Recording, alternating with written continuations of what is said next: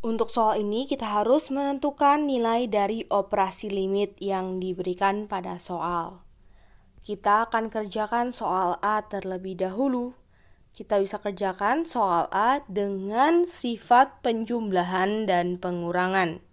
Sehingga limit X mendekati 3 dari fx plus 2 bisa kita pecah.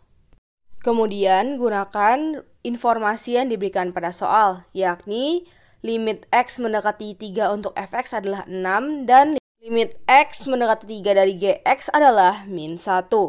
Sehingga untuk soal A hasilnya sama dengan 6 ditambah 2 sama dengan 8.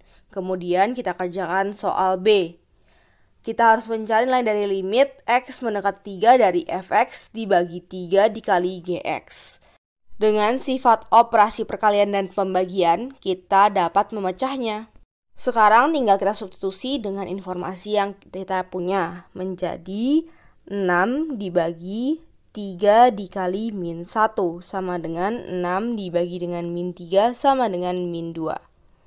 Sampai jumpa di pertanyaan berikutnya.